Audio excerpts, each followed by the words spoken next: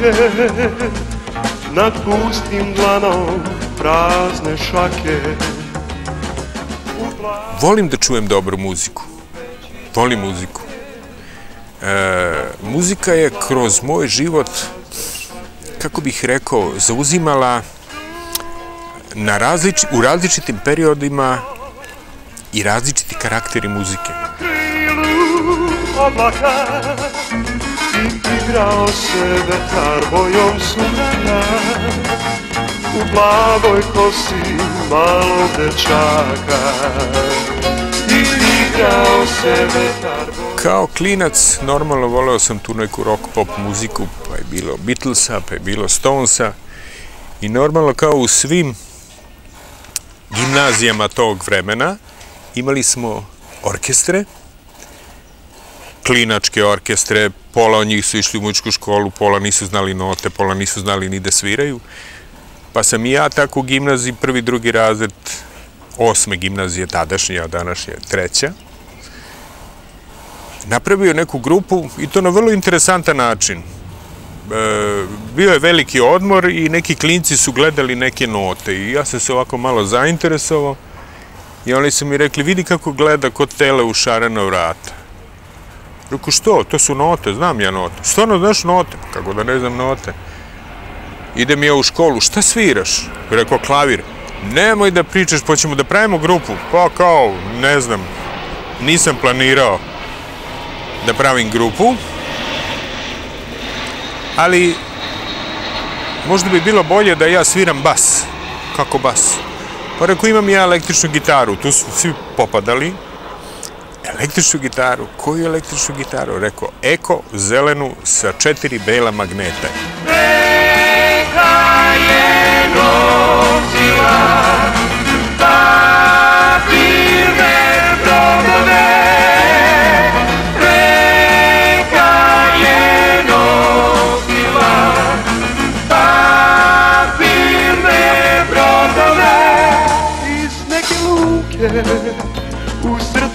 da čijem imale ruke na licu načijem kao da bi sada htele nekom reći gde su moji brodovi?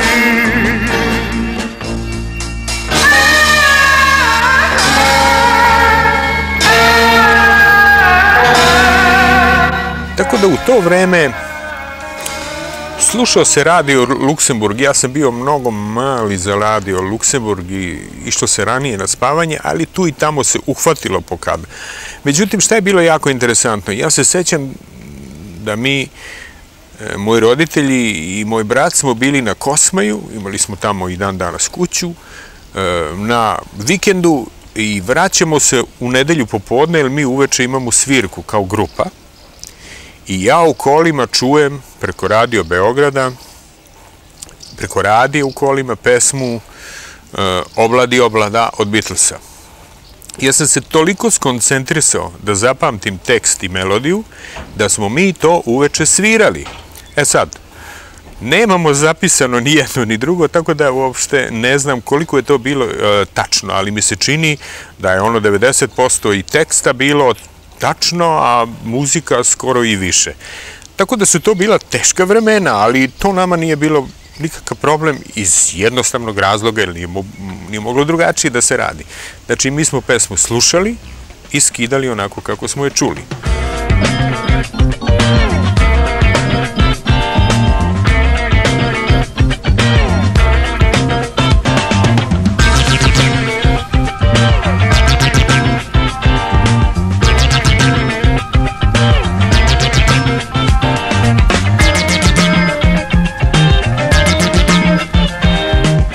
jedna vrlo interesantna stvar i mislim da je to dosta jedinstveno, možda čak i za celu Evropu. Moja drugarica Valida živela je kod Manjiškog parka i imala je baku francuskinju koja je njoj dala ideju da u njihovom dvorištu, njihove stare kuće, svakog petka kad je, postalo, kad je bilo lepo vreme u Beogradu, da se prave žurke da će biti dve grupe. E sad Valida, moja drugarica je smislila da jedna grupa svira repertoar Beatlesa, a druga repertoar Stonesa i svakog petka bilo je takmičenje, a to su uglavnom bile grupe iz kraja. Znači u svakom kraju Beograda bilo je po 5-6-7 grupa.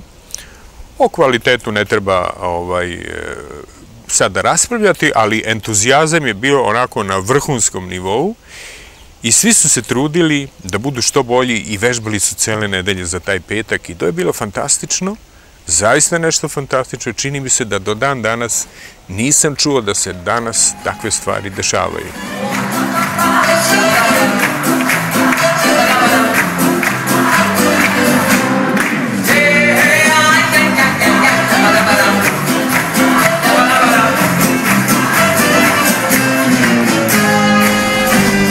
Iskreno govoreći, ja tada uopšte nisam imao osjećaj da postoji neki naš sound koji treba koristiti kao inspiraciju i nešto raditi. Znači, ovo što radim danas je nešto što se pojavilo sasvim slučajno i iznenada i ne znam odakle. Tih 60. godina meni je isključivo strana muzika bila reper, I to što, što sam radio Bye Bye za Opatijski festival, radio sam ga pomalo iz Heraški, jer sam želao da Bisera Veletalić ode na Euroviziju.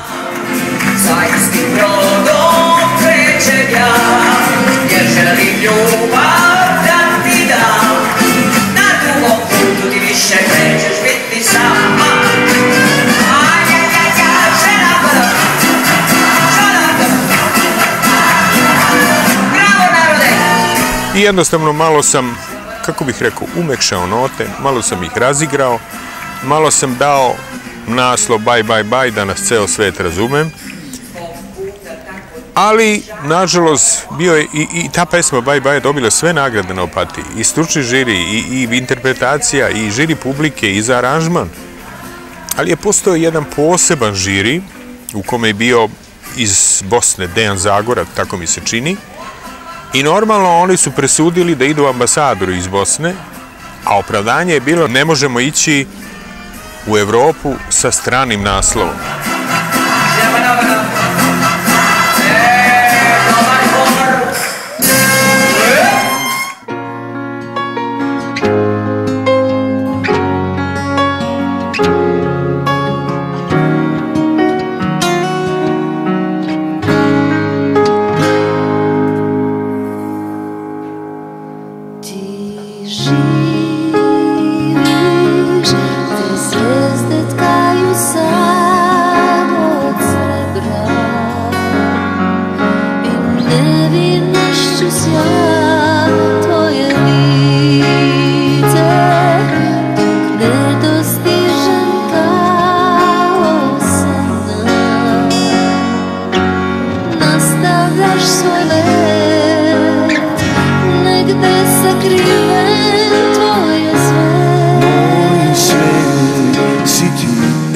Mislim da se stvari dešavaju sasvim slučajno. Ja, kada sam pisao Princezu, to je izašlo iz mene, Dado Topić je napisao tekst i to je bila samo jedna od mojih pesama koja je bila dobra. Ti si princeza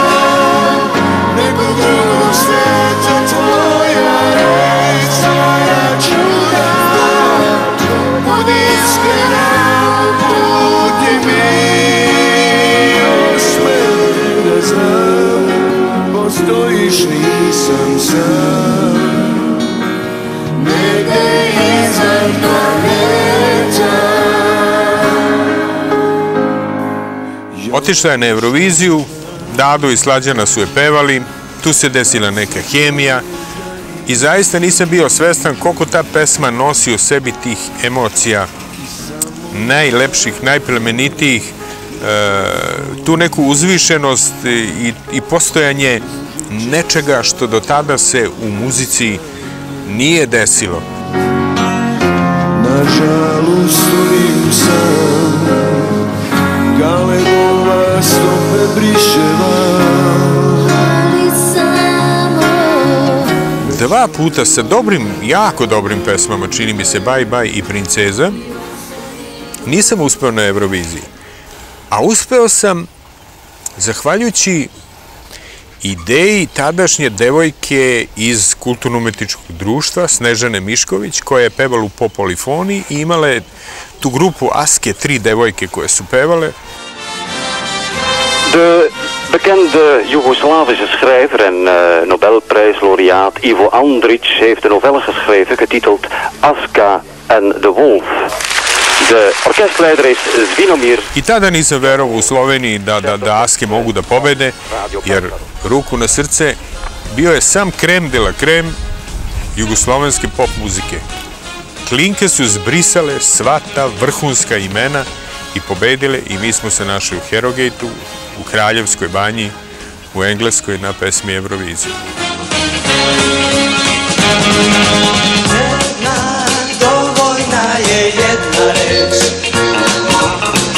Sreća vratit će ti okus sjaj O, o, o, o, Glavu gore i ne misli na kraj. Jedna dovoljna je jedna reč Šubidua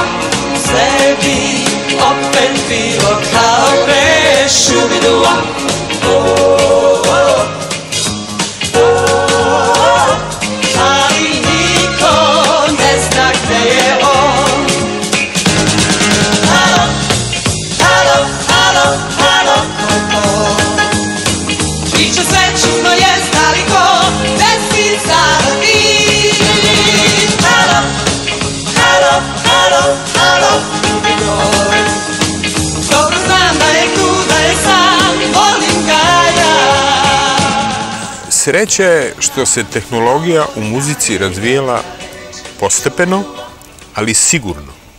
I za posljednjih 30 godina ta tehnologija je otišla stvarno daleko, ali nikad se nije dešavalo nešto naglo. Sve to bilo malo po malo i ukoliko ste pratili, a ja jesam, onda vam nije teško da i danas sve razumete šta se dešava u muzici i možete da proizvedete maltene šta god zamislite.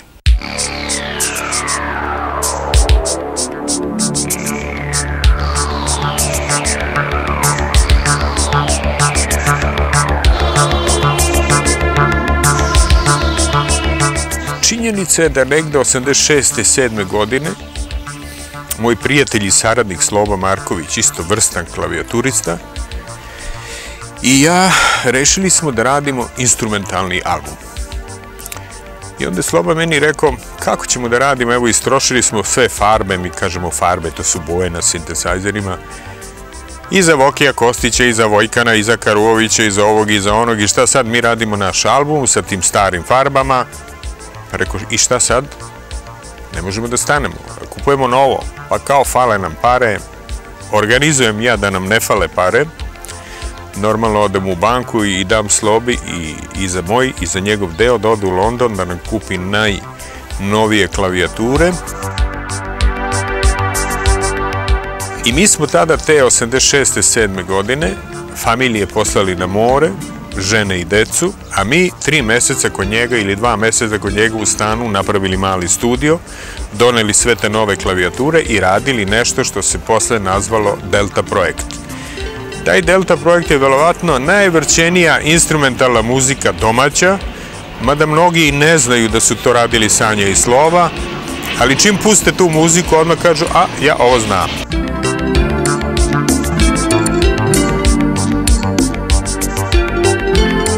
Zaista sve kompozicije od početka do kraja su puštene kao neki albumi poznatih zvezdi pevača u Srbiji gde su sve pesme bili hitovi.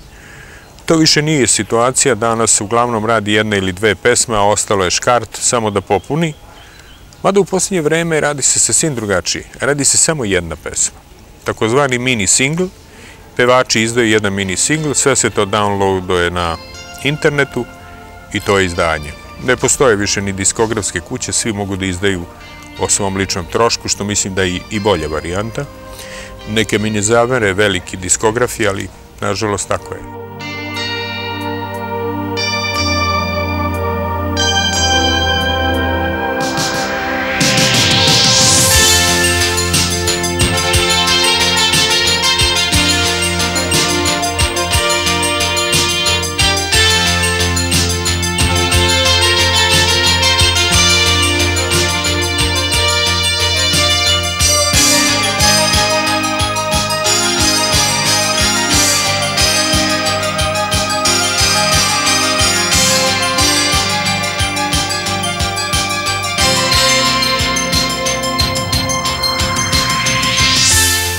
Elektronika je u moje glavi i u mojim ušima bila od samog početka. Sećam se da prve elektronske uređaje, pored Bate Kovača, smo imali Slova Marković i ja i Lazar Istovski.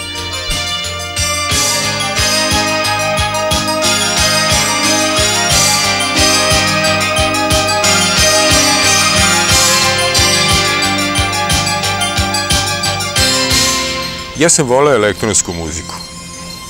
I posle toga, i kada se Balkanika stvorila, ja sam želeo da ta elektronska muzika, odnosno elektronski zvuci, sintesajzere i raznih modula imaju značajan udeo u tom zvuku Balkanike, ali da se ne čuje da je elektronika potpuno nehumana.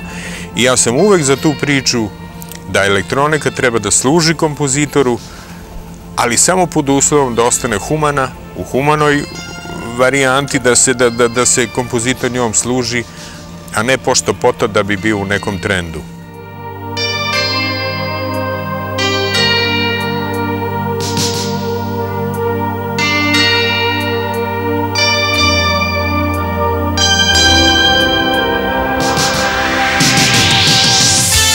Svako vreme nosi svoje. Nemam ništa protiv toga da se pušta danas bilo koja muzika, dok god imate onaj remote, kako se kaže, daljinski, da, kontroler.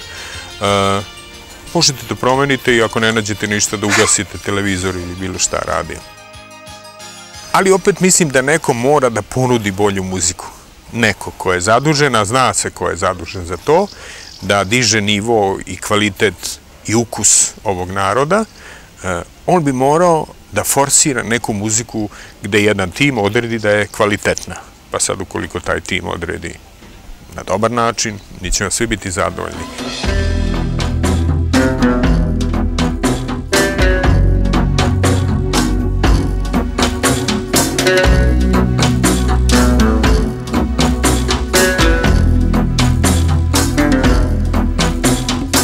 U tim godinama, to su bile negde 2000. 99. godina, zaista mi nije padalo na pamet da pravim grupu.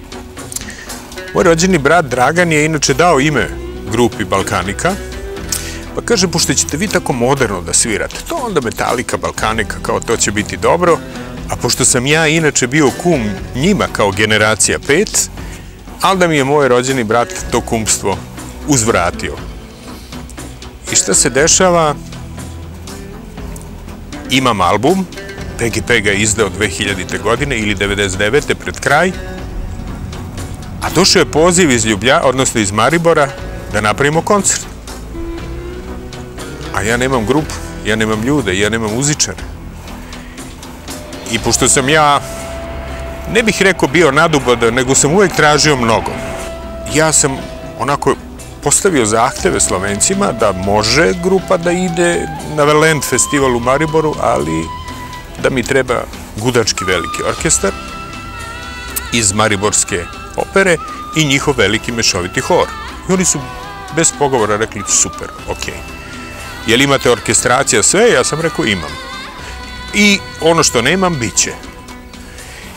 I onda je bila panika. Ja sam napravio neku svoj, neki svoj izbor muzičara, ali falilo još bar jedno 5, 6, 7, da bi dobio zvuk na tom festivalu kao što je bio na albumu.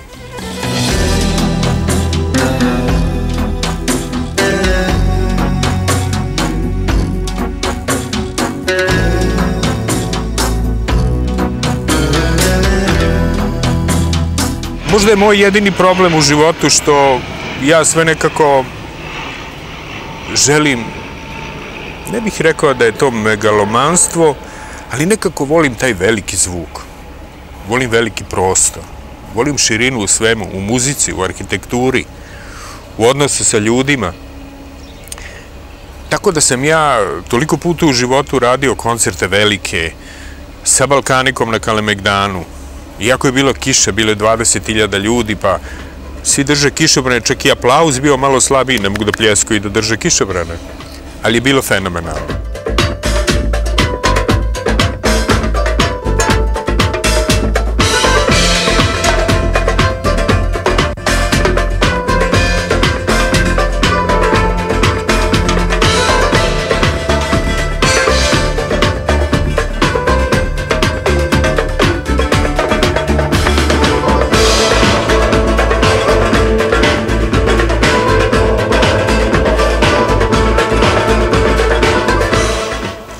Onog trenutka kada sam rešio da se bavim muzikom koju svira Balkanika, mislim da je to bio pun pogodak, jer ići u svet i svirati neki džez i svirati neki rock, gde ima grupa koje to mnogo bolje rade od nas iz Srbije, e, bilo je potpuno besmisleno. Ali svirati neku balkansku muziku, mislim da na svetu najbolje to rade Balkanci. Tako da je to toliko jednostavno. Um, a, ljudi su čak počeli polako da prepoznaju da je to neka balkanska muzika. Mi kad smo bili u Meksiku, čak su nam rekli to je Balkan music. A možda nisu ni znali tačno gde je Srbija, ali otprilike negde tu, tu neki Balkan postoji. Ali šta je problem? Problem je što vi treba da odete na razne kontinente, da odete u Meksiku, Kanadu, Pakistan, Indiju, Južnu Koreju, Kinu i da im svirate muziku koju ste uradili sa nekom inspiracijom balkanskog melosa. I na samom početku mi smo prvo, ne da, išli u Kinu. Činilo mi se da će to biti onako malo eksperiment sa nejasnim krajem i efektom. Međutim, na kraju je to ispalo tako dobro da smo u Šangaju u sali koja prima 8000 ljudi dobili ovacije. A sam početak je bio dosta umeren, tako da smo se svi pomalo zabrinuli, jer ta kurtoazna priča e, mi nije bila jasna zašto. Nismo dosta znali o Kini, nismo dosta znali o Kinezima. Međutim, kada je naš perkusionista, tadašnji Papanik, na kineskom njima rekao nji hao, odjednom su se oni trgli i do kraja koncerta je bilo fenomenalno, pa onda njihao dobar dan, pa nam slafu, Jugoslavija, pa še še. Jedino što nismo po- spominjali Bata Živojinović, koji inače moj rođak i ja sam mislio da bi to bilo suviše jer bi onako srušili halu, ali i ovako je bilo jako dobro. U samom početku kad smo došli, rekli su nas svirati u hali, koliko prima 8000 ljudi, ja sam rekao, pa kako ćemo mi da, ipak mi nismo tamo toliko velike zvezde da bi sad napunili, ništa ne brinite, dve ulice dođu i to, to je popunjeno.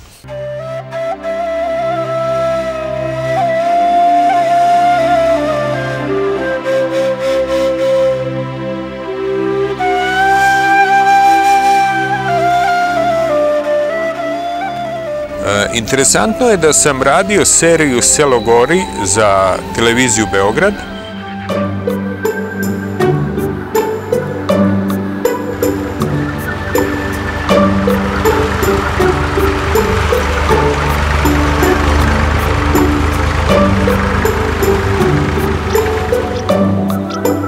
Radašine, ajde stavljajte, hoćemo da jemo nešto.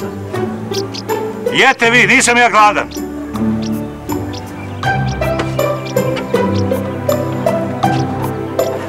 I na kraju smo se Radoš i ja dogovorili da uradimo kompletnu muziku iz serije, normalno ja sam to doterao, e, uradio malo prilagođeno scenskom izvođenju, sa simfonijskim orkestrom i horom u Sava centru. To je bilo pre 3-4 godine i to je bio jako dobar koncert.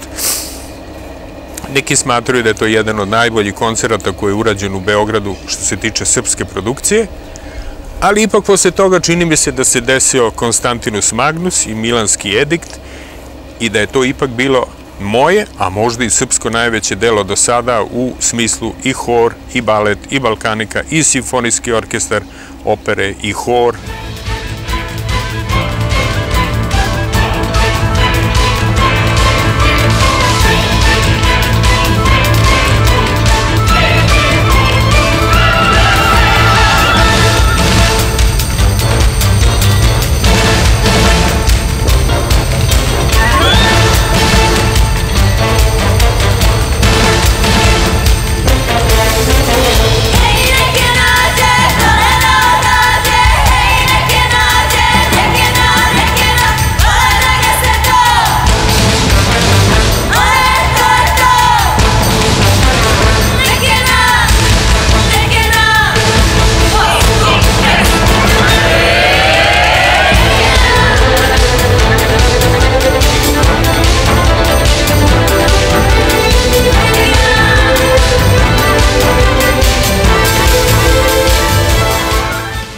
Taj mainstream u svetu mislim da polako dolazi na jednu priču da se vraća neka muzika nekih 70. godinama sa akustičnim gitarama, sa dobrom svirkom i sa melodijom. To je nešto što mi se čini po nekim hitovima svetskim koji se sada pojavljuju, da je došlo vreme da se malo vrate priče u melodiju, da se radi malo na aranžmanima, ne na komplikovani, nego naprotiv baš kakvi su aranžmani bili neki 60. i 70. godina i jako dobro pevanje. To je nešto što bi moglo zaista da ohrabruje i nešto što je, tako bih rekao, neminovno. Jer uvek posle nečeg ločeg mora da dođe nešto dobro. I obrat. Pa i u muzici. U očima što plaču tužno sja Mirno popodne, miran dan i mirni ljudi Mirno popodne, mirna ja.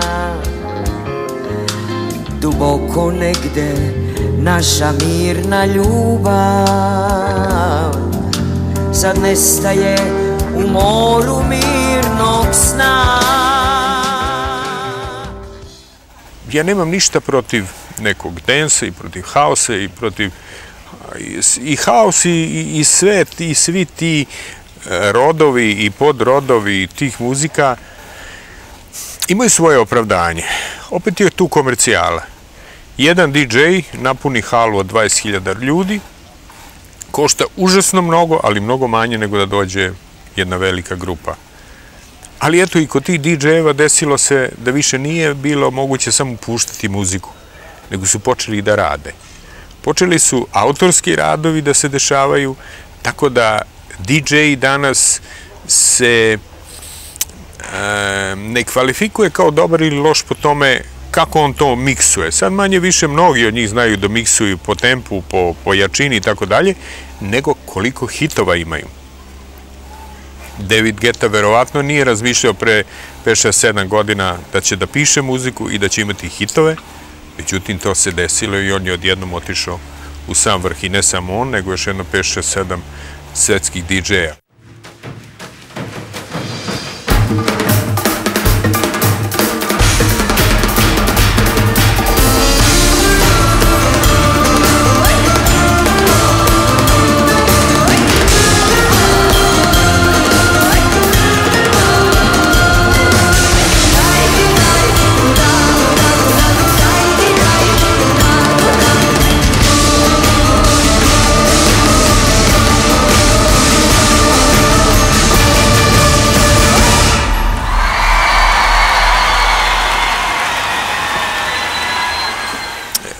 Teško da će se desiti da se ja zasitim muzike, možda ću se zasititi balkanike, ali evo sada se upravo dešava priča da pokušavam da napravim sa balkanikom nešto potpuno novo i to na sledeći način. Opet prvi put vama govorim.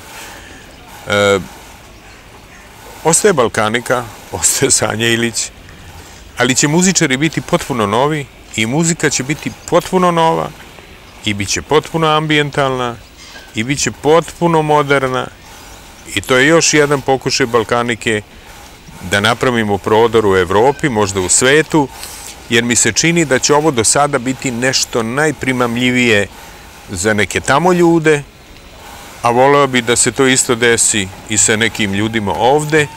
Znači, to će biti muzika koju nikad niko ranije nije čuo, ja jedino od svih mojih muzičara, kao što sam i ranije od svih pevača tražio emocije.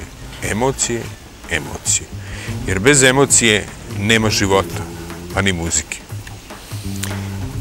I jedino, ako mi je nešto žao u životu, šta sam propustio, a to nažalost nisam mogao ni da ne propustim ili da propustim, nego to stvar se desi, što sam celog života radio sa ljudima koji su ipak nešto malo manje znali od mene što se tiče muzike.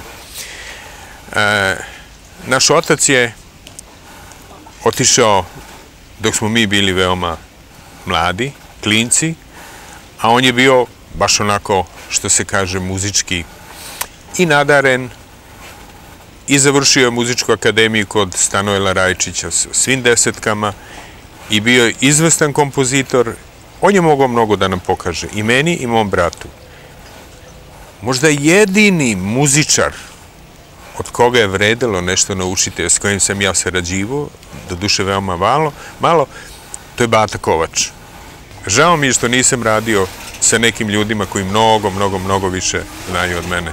Mislim da bi to meni značilo i da bi sve što sam radio kasnije, a da ovako malo zvuči čudno, bilo možda još kvalitetnije i još bolje. Oj, kad još peva glasno sve glasnije. Ulice igraju, ulice pevaju Sve strasnije i strasnije. Oj, kad još peva glasno sve glasnije. Ulice igraju, i ulice pevaju Sve strasnije i strasnije. Moj ljubav